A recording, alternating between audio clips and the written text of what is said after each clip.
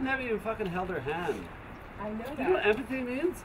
In, in, in, in layman's terms, it means putting yourself in somebody else's shoes.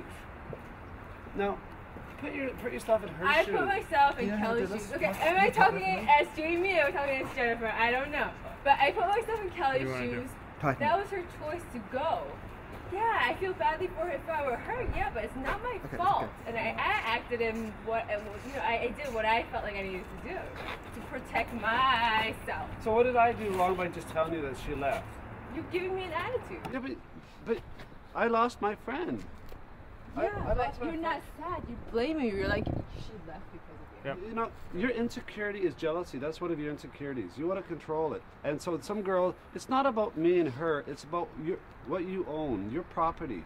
The, your your property is me, and you think some girl's are walking on your lawn. Yeah, but so why are you blaming her? Why are you blaming Jennifer? because Why you? if you're secure blaming about her? yourself and secure about our relationship, then, then why the fuck would you just then not maybe if she's her? insecure, what's wrong with Why- that? That's why just would- being why human. So why are you blaming her? Why wouldn't you just say to me, "Listen, I'm uncomfortable with you spending time with her." In- Okay, you instead, guys, you just he's ready to um, just shoot. You instead can you shoot. just you just you walk out on her.